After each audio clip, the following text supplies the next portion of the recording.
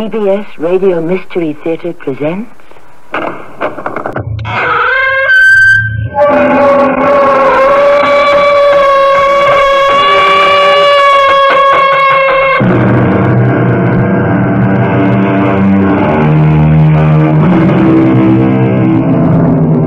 Come in. Welcome. I'm Tammy Grimes. In the long run, men hit what they aim at. So said Mr. Henry David Thoreau. Which is proof that, just as a shoemaker should stick to his last, a philosopher should confine himself to his philosophy. A pacifist, Mr. Thoreau knew very little about aiming and hitting. And the fact that many people do hit something, or someone, other than what they aim at, is what gives the police so much trouble, as we are about to discover. Mrs. Soames, do you know what your husband is doing? Yes, You're aware that it's illegal. It's already involved him in murder. perhaps. For his sake and for yours, you must talk to me. I know, Lieutenant, but I can't. However he may have broken the law, he's still my husband. I won't betray him. A pity he doesn't feel that way about you. Because tomorrow, or the next day, he'll have to kill you.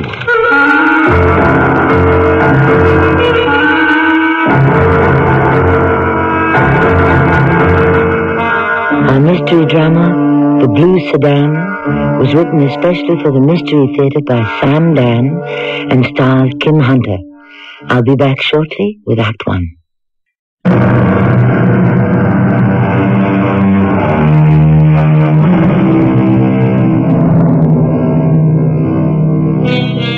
According to the book of Numbers, Joshua sent men to spy out the land, from which we may gather that spying is one of the world's oldest professions. Whether or not it's an honorable one depends, of course, on whose side you or they are on. Spying. Is there more of it today than there ever was? Or does it just seem that way? A man walks down the hallway of a run-down, decrepit, and dingy office building. He pauses at a door on which the number 418 and the legend, Lou Delphat, private investigator, are just barely visible in faded characters. Hey, hey, there you are. Come in. Get, come on in, come on in. Sit down, huh? Well, did you bring it? Yes, All of it? all that you need. Hey, what's this all that I need? Now, we agreed on the amount. I've got more than enough for you. What? In here. Hey, wait, wait, wait, wait. No, well, you won't get away with that. Did you think you could get away with what you were trying to do? All you need, and all you'll get, is one ounce of lead. Uh, no. Uh, no, I... Please. Or maybe two.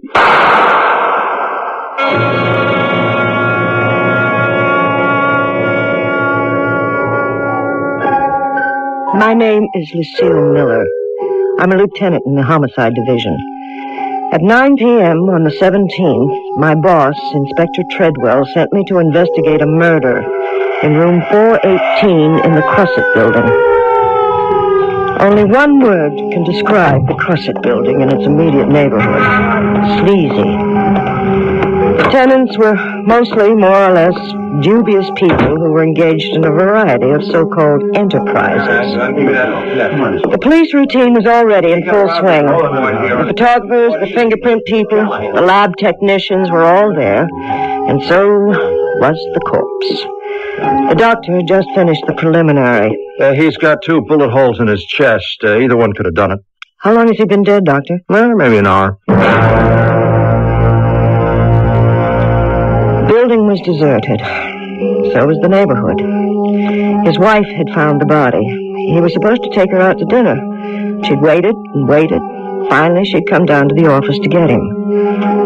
I decided she could use the night's rest. The following morning, You're Mrs. Delphat? Well, uh, no, no, not exactly. You say you're not Mrs. Delphat? Well, it, it all depends on how you look at it. I, I mean, we never made it legal. You know, you've been together five, six, seven years, whatever. You know, it becomes legal anyhow.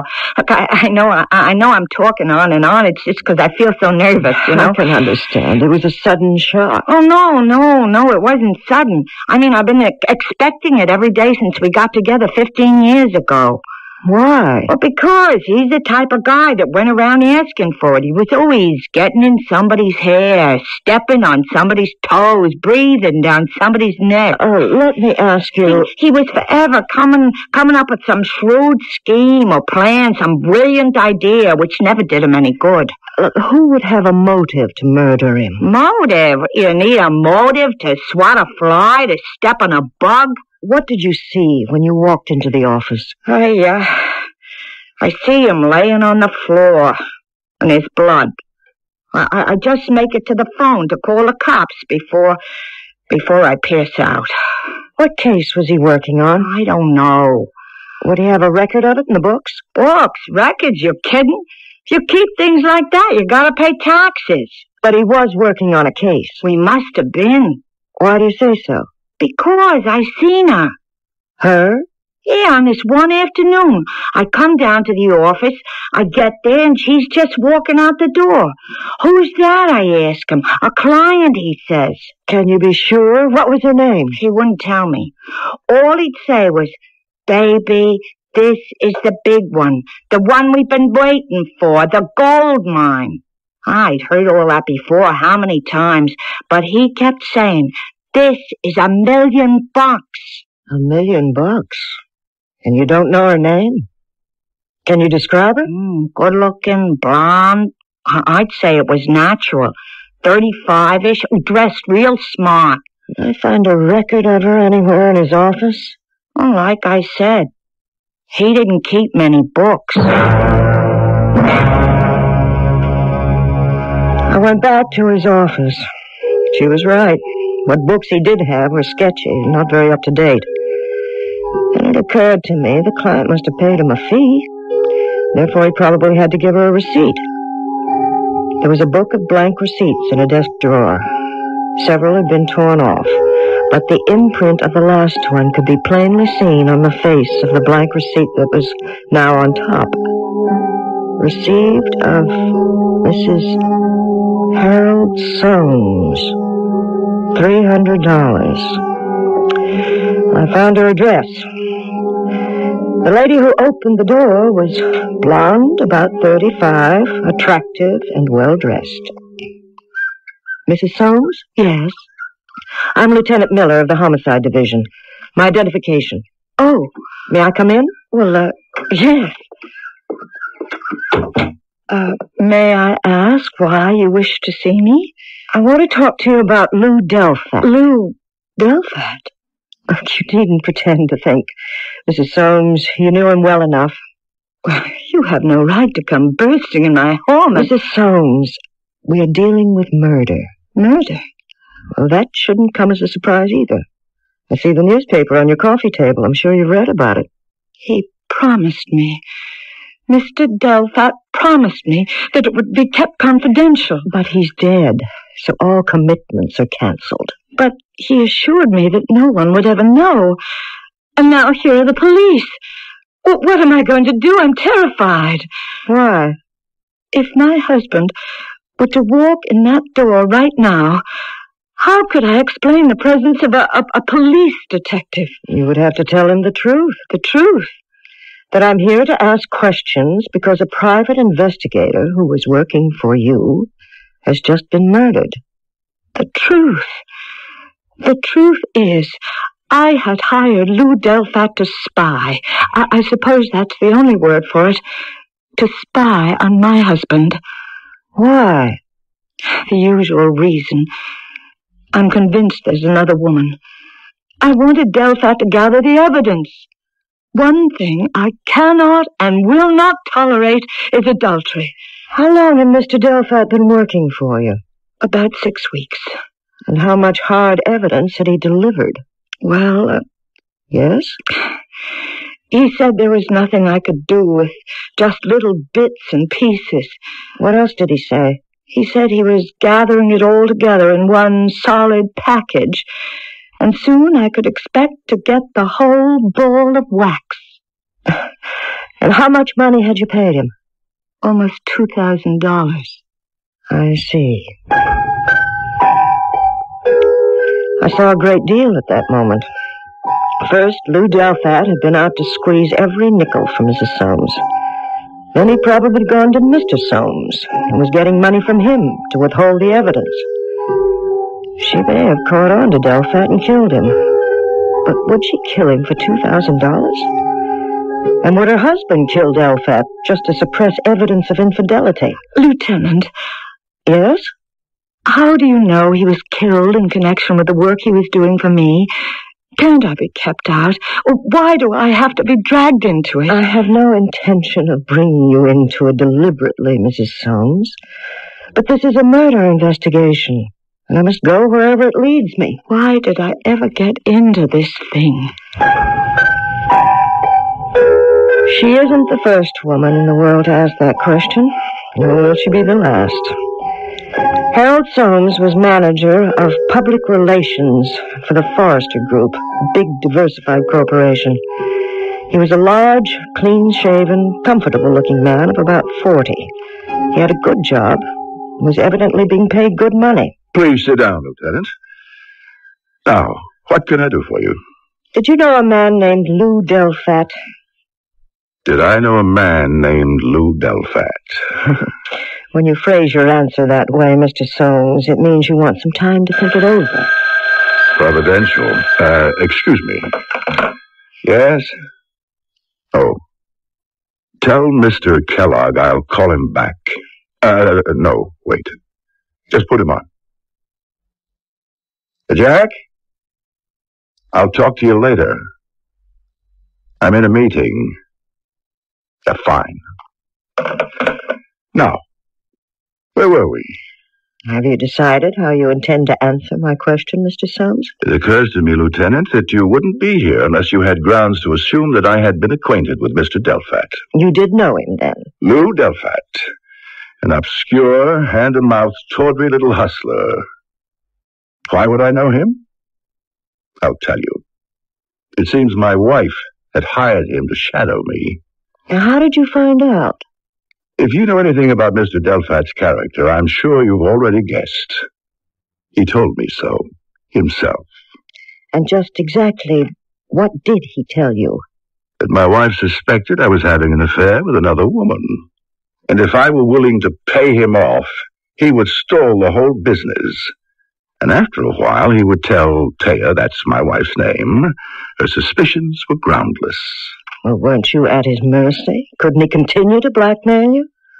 Thus you have a motive for the murder. I would, if Delphat could have found any evidence, but that would be impossible. There isn't any. I'm not having an affair with anybody. Therefore you didn't pay him anything? Why should I? And how many times did you see Mr. Delphat? It wasn't necessary for me to see him more than once. After I turned him down, what was there for us to talk about? And you never heard from him again? Never. And you know nothing else about him? Nothing. That one meeting between you, where did it take place? Oh, that was in the park, opposite the carousel. And I couldn't help but think, what an innocent place for such a, a sinister meeting. And how long ago was this? Oh, between four and five weeks ago, I would say. Uh, all right. Thanks for your time, Mr. Soames.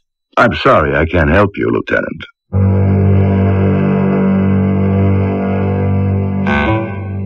But he can. He could solve the crime completely. All he has to do is confess. If his voice sounds familiar, it should. Didn't we hear it before at the very opening of our story? Wasn't he the visitor who delivered those two ounces of lead to poor Lou Delphat? Detective Lucille Miller is looking for a murderer, and she has just been talking to him. Life is filled with these little ironies, and so is the second act.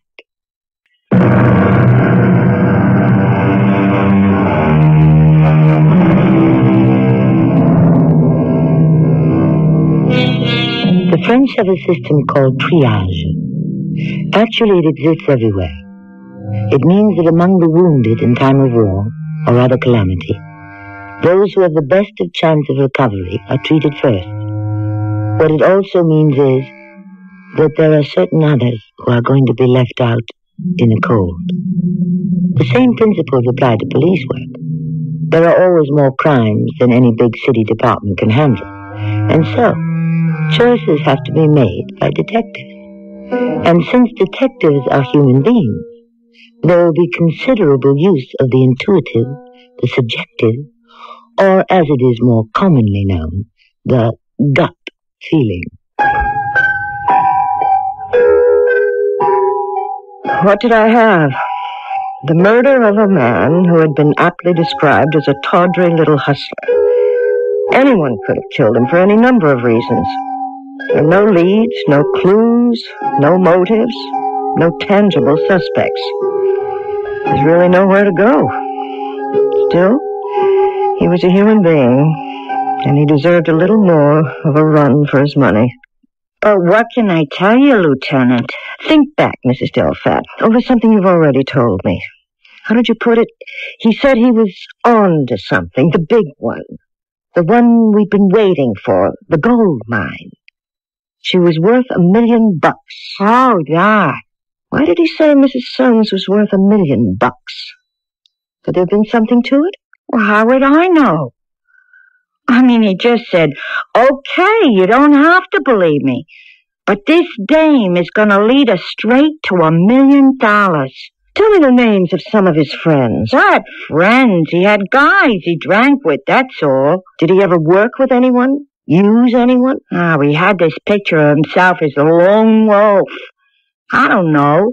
Oh, you, you might talk to, uh, to Mouse Weber. Mouse Weber. A familiar name. A petty hanger-on. A runner of errands. A gopher. An occasional police informer. Not even used him myself once. I let it be known that I wanted to see him. Who? Delphat? I never heard of him. That's not what his wife says. Oh. Lou Delphat. I didn't hear you the first time. I got this trouble with my ears. Did you know what he was working on? Well, I mean, uh, how would I know? Mouse, I need this, and I'll check it up to your account. Hey! I just remembered. It was the usual stuff for him. Collecting dirt for a divorce, and uh, one night it was the night he was killed. He comes in here, and uh, we have the usual hello, how are you? I see he's flashing a roll. I says to him, hey, Lou, keep that stuff out of sight in a joint like this. And I remember, I'll never forget what he says to me. He says, Hey, hey, what do you think? Lou Delphat can't handle himself. There's plenty more where this comes from. I got a dame. She thinks her old man's two-timing her. She gives me 200 a week plus expenses to shadow him and collect the evidence. I bet you must be in a hurry to deliver it, too. Oh, sure, sure, sure. Yeah, I got her on a string. And the beauty part is, I got the husband on a string, too. And? That was the end of it. We shot the breeze a while, and then he went over to his office where somebody knocked him off. Who do you think it could have been? And why? Somebody from this joint. Somebody must have seen a roll of bills and followed them out. Did he tell you the name of the man he was tailing? The guy's name is Soames, Harold Soames. Uh-huh. And are you carrying on where Lou left off? Mm. Hey, what are you talking about, Lieutenant? Have you been following Harold Soames to find out who he's been seeing? So you can get him to pay you to keep your mouth shut? This Soames guy don't have a dame. He goes to some office building, or, or maybe some restaurants where where he, he meets with some other guys. Just men? I have never seen a dame. And that's what he does every night? That's all. I'm telling you, there's nothing there. Which is exactly what Inspector Treadwell said. There's nothing there, Lucille. Lou Delphat was flashing her all. But it wasn't the money Mrs. Soames paid him because he left that in the house. Where did he get it? He was blackmailing Harold Soames. How? Harold Soames wasn't having an affair. Why should he pay off? Unless he lied to me. And if he did, it's not a criminal offense. It's his own domestic affair. Oh, give me another couple of days on it. You got no place to go, Lucille. Why can't we just assume that some hoodlum killed him for the money? Makes sense, and it should satisfy everybody. It doesn't satisfy me. What can I do for you, Lieutenant? Perhaps I can do something for you, Mrs. Soames. What can you do for me? I can save you some money. How? I'm sure you've been approached by a man named Weber. Weber? Yes, but uh, it's a confidential matter. I'm sure he's told you that he's an associate of the late Lou Delphat and is willing to continue shadowing your husband. How did you know?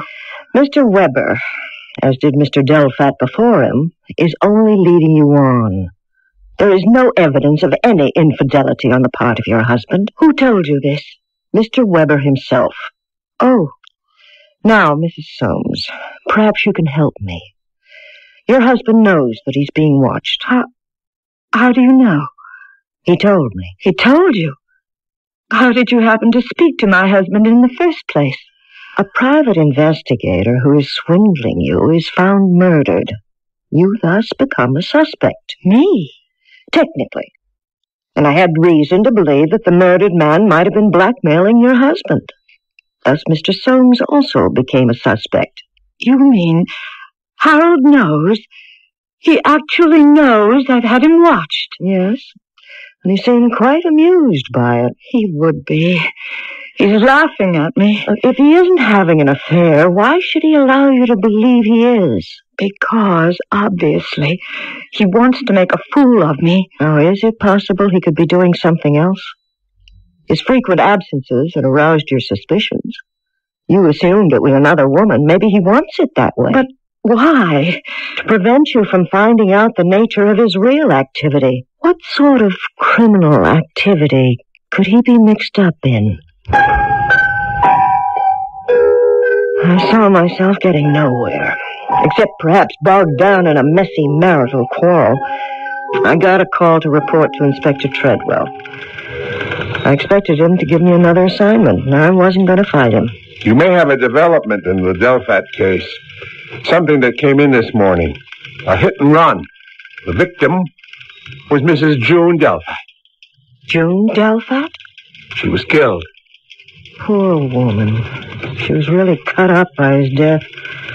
I guess she didn't know where she was going. You think it's an accident? You do have hit and run accidents. Yeah, but this time I'm not satisfied. First him, now her. Why?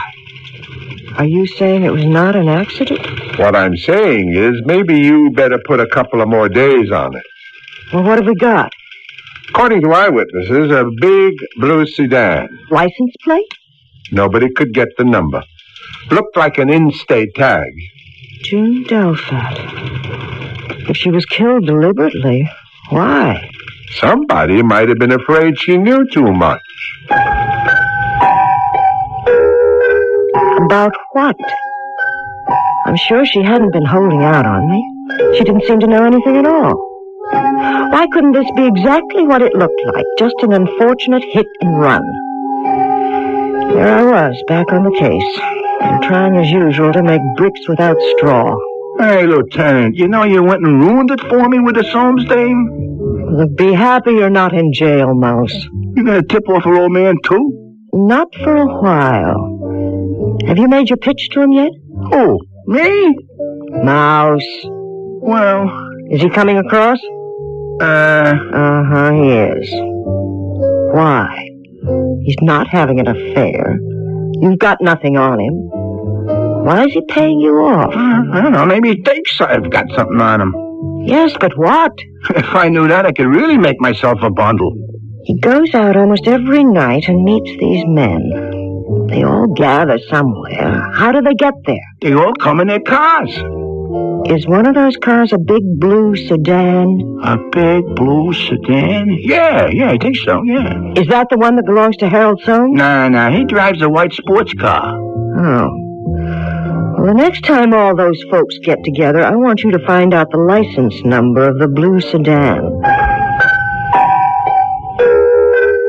Nothing happened for the next two days. Then on the third night, I got a telephone call. Lieutenant, th- this is Mouse. Mouse Weber. What's the matter, Mouse? I want you to come and get me. Come and get you? It would have killed me. Who? I don't have time to explain that now. I think I shook them off, but they could have followed me here. Who? Those guys are out to shoot me. Uh, uh, where are you? Ah, I'm in a phone booth. Corner 9th and Dawson. Y- you stay right there, Mouse. We'll have a squad car pick you up in less than a minute. I, I, I'm, I'm doing what you told me. Now, I, I follow Harold Soames to this office building at 6th and Wavecrest, okay? Now, maybe half a dozen other guys pull up in their cars and go into the building. Now, one of them's the blue sedan. So I go over and I start writing down a tag number. Suddenly, I hear a shot, a slug, and it whistles past my ear. I, I, I see a guy standing there shooting at me. Can you describe him? I didn't look at him long enough. I started to run. And he chases me. I duck into an alley. There- there- There's a fence. I manage to get over it. He has trouble. So I lose him. And then I call you. Hey, listen, you, you, you gotta put me in jail. All right, Mouse, all right. We'll put you away for a while. Uh, uh, uh, thanks. Get me 90 days at Northern Ridge, will you? I got a lot of friends up there. Uh, did you get the plate number of the blue sedan? The plate number? Oh, yeah, yeah, yeah, yeah. Yeah, I got it. I got it uh, right here somewhere. Here. Yeah. U three five three six. U three five three six. According to the computer, U3536, a blue Townley sedan is owned by Jackson Kellogg of Sturtevant Crescent. Jackson Kellogg. Kellogg. Now, why is that name familiar? Why,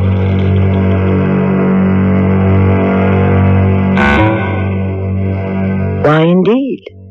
If it has a familiar ring for her, it should also sound like a bell to you. The name has come up before. And while you're thinking about it, we'll take a short intermission, and we shall meet here again in just a few moments for Act Three. Who, who is Jack Kellogg?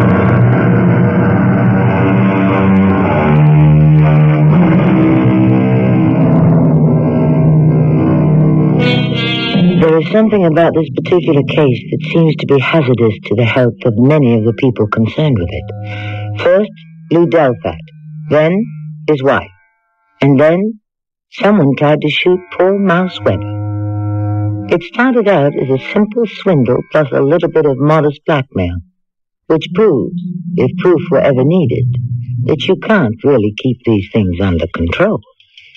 You mean you know this Jackson Kellogg, Lucille? No, Inspector, but I've heard the name. In connection with what? Where? It, it was in Harold Soames' office. There's a tie-in between Soames and Kellogg? They know each other. I'd gone to see Soames. I asked him if he knew Lou Delfat. He wasn't quite sure how to field the question, and just then his phone rang, and he, he said to his secretary, Tell Mr. Kellogg I'll call him back. Jack Kellogg. Is it the same one? We picked up Mr. Kellogg, and also Mr. Kellogg's blue Townley sedan. Mr. Kellogg was a bachelor, age 51, who was outraged to think that he could be accused of a hit and run killing. This is monstrous. I deny it. You have a cracked right headlamp, a dented right fender. Well, what does that prove? There are some threads and cloth fragments that had stuck to the bumper. They came from the dress that June Delfat was wearing. Well, Mr. Kellogg? I refuse to say a word without advice of counsel. He had the right to call a lawyer, and the lawyer got him a hearing before a judge, and bail was set. He was released pending his trial date. We had him tied in with Harold Soames, but what were these fellows doing? We had a ton of suspicion, but not a single ounce of solid evidence. I'm sorry to bother you again, Mrs. Soames. That's quite all right, Lieutenant. Do you know a Jackson Kellogg? Yes, I know him, I'm sorry to say. Sorry. I think he's responsible for the, uh, what can I call it? The deterioration of my marriage. In what way? A few years ago, he wanted Harold to go into business with him. Computers. Harold would have to put up the money. I have an inheritance from my grandmother. Harold wanted to use it. I turned him down. Why? I never trusted Jack Kellogg. Then Harold didn't go into business with him? He did. Where did he get the money? Jack loaned it to him. The company went bankrupt. Did Harold ever pay back Jack Kellogg? I don't know. Certainly not with my money. But, uh, that's when the strain started between us. Oh, and how were things before that? We were very much in love. Mrs. Soames, what is your husband up to? I beg your pardon. I don't know what the problem is, but I can tell you that your husband is in some kind of serious trouble. He's keeping dangerous company. Dangerous? You know it's dangerous. I'm sure you've discovered the truth by this time. Have you confronted him with it? I don't know what you're talking about. You could be in danger yourself if someone, and I don't know who that someone is, has any reason to believe that you know too much. Mrs. Soames, you're not helping your husband by keeping silent. I... I can't tell you anything. You mean you won't? I can't. Well, just think about what I've said. Then consider that only the police can help you now. They were up to something. Soames and Kellogg and Company. But what? I decided to see if I could shake Kellogg up a bit.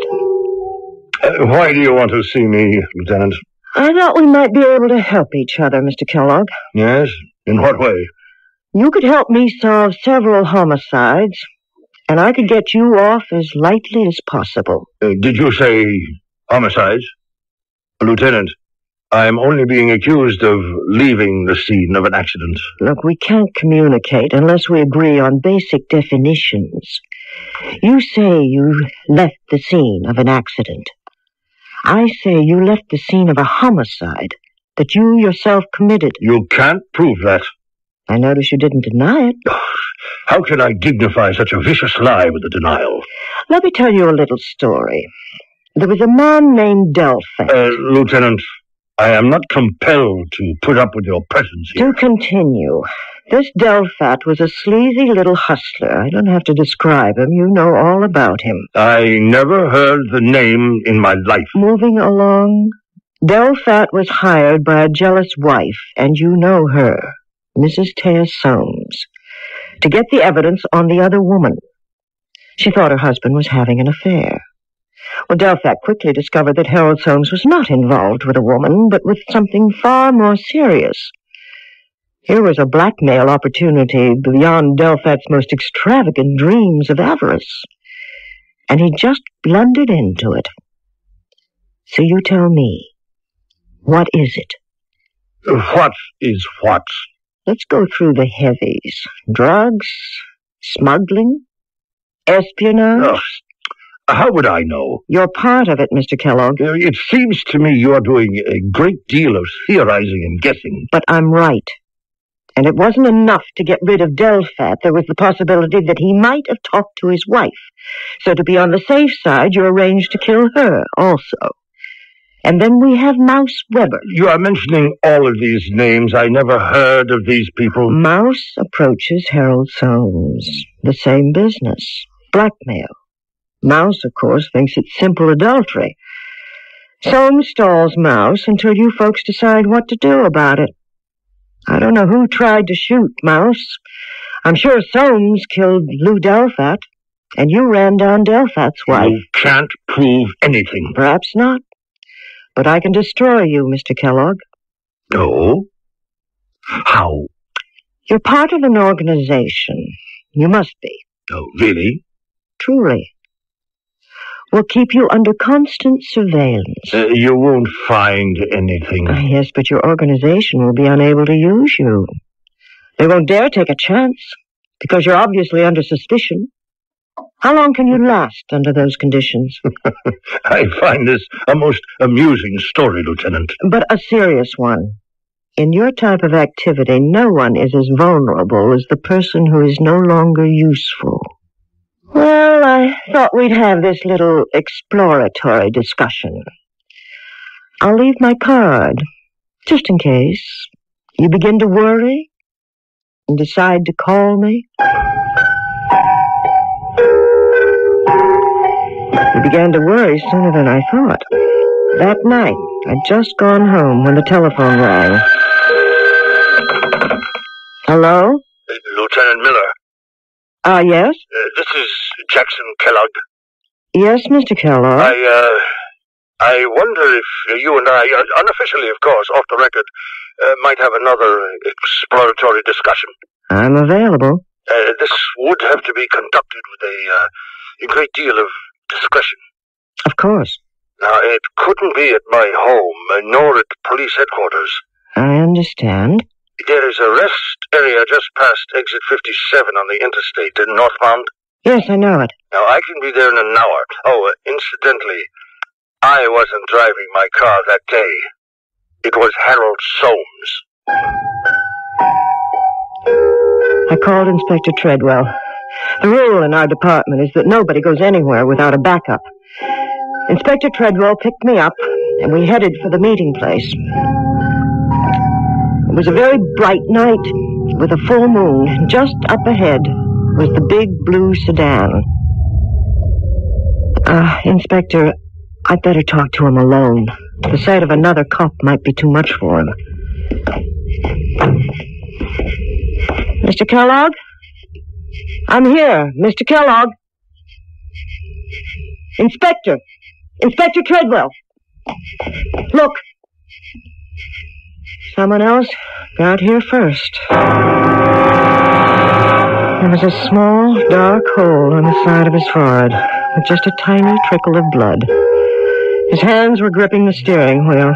He was staring straight ahead. It was hard to believe he was dead. Then suddenly, he slumped forward. There could be no doubt. It had to be Soames. Why do you say that? Soames knew I was aware of a connection between himself and Kellogg. How did he know? How? When I get a tough one, I like to take it home and sleep on it. Of course, I can't fall asleep until I get the answer. And just before midnight, it came to me. The only way Soames could have known about my interest in Kellogg. I called Inspector Treadwell. What? I remembered exactly. I was talking to Mrs. Soames. It was just after June Delphat had been run down. I asked her if she knew a Jackson Kellogg. Well, she knows him. She doesn't like him. She holds him responsible for the deterioration of her marriage. Are you saying she might have killed Kellogg? No, but she's too determined to find out what her husband is up to. I'm afraid Taya Soames is next. Soames's wife? We have a case here where anyone who might know something is killed very quickly. What can we do? I'm going over to talk to her. At this hour? Good evening, Lieutenant. It's just about morning. Is your husband home? No. He's out as usual. Did you wish to speak with him? Yes. It's about the murder a few hours ago of a friend of his, Jackson Kellogg. Kellogg? Murdered? Are you surprised? No. More important, do you know what your husband is doing? Yes, It's illegal, of course. yes, It's already involved him in murder. perhaps. For his sake and for yours, you should talk to me. I know. But I can't. Why not? Whatever he's done to me, however he may have broken the law, he's still my husband. I won't betray him. Well, a pity he doesn't feel that way about you. He's going to kill you. How can you say that? He's involved in an activity that must be kept secret. Any outsider who knows anything is quickly done away with. He wouldn't kill me. What's this talk of killing? Harold, you're home. You come calling late, Lieutenant. I came here, Mr. Soames, to ask about the murder of your friend Jack Kellogg. Jack? Murdered? You know it. How? You did it. You have nothing but guesses, Lieutenant. Taya. Taya. They have no evidence. All we must do is remain silent. Yes, Mrs. Soames, remain silent. While he continues to make a fool of you. She's lying. Am I lying? Mrs. Soames, this is the man who neglects you, who no longer has any sort of meaningful life with you. Taya, darling. Oh, when was the last time he called you darling? Think. When was the last time he took you in his arms? When was the last time he, he made you feel that the two of you were the whole world? When was the last time he was sweet and tender? When, Mrs. Soames, when? It's espionage. Taya, Taya. They're spies. He and Kellogg and five or six others. Don't move, Mr. Soames. She's lying. You laughed at me, Harold. You thought you could leave me alone night after night and make a joke of it. Taya, if you don't say another word, we can get out of this. We? There's a group of them. They all have good jobs. They're all respectable. They've all sold their souls.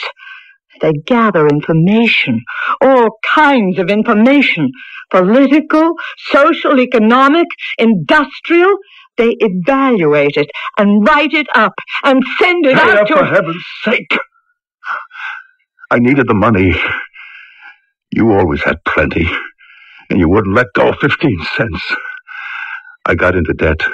I owed Kellogg 50000 He said he could show me a quick way to make a fortune. That's how I got into it. But what did you need the money for? We had enough to live on. Maybe you and I have different ideas on how to live. What had begun for him as merely an attempt to make some money had acquired great importance. He became a key member of the organization. Actually, the hitman and executioner. Why do people do these things? I don't know. I'm a cop, not a psychiatrist. I only know we broke up an espionage ring just because a jealous wife hired a greedy private detective who tried in vain to work both sides of the street.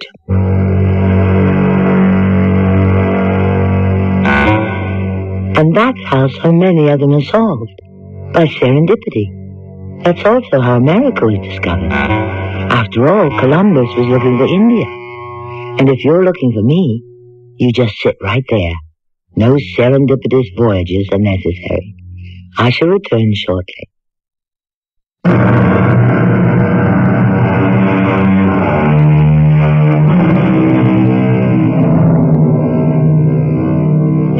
Our story is called The Blue Sedan because it once again emphasizes the values of what we were talking about before.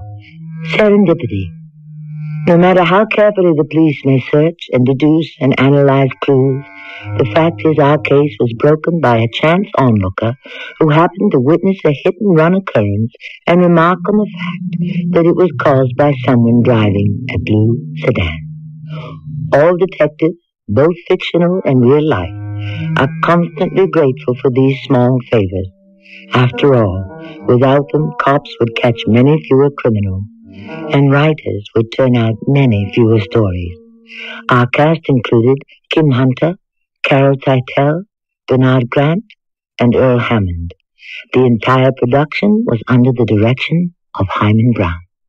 Radio Mystery Theater was sponsored in part by Raven House Paperback Mysteries. This is Tammy Grimes, inviting you to return to our Mystery Theater for another adventure in the macabre. Until next time, pleasant dreams.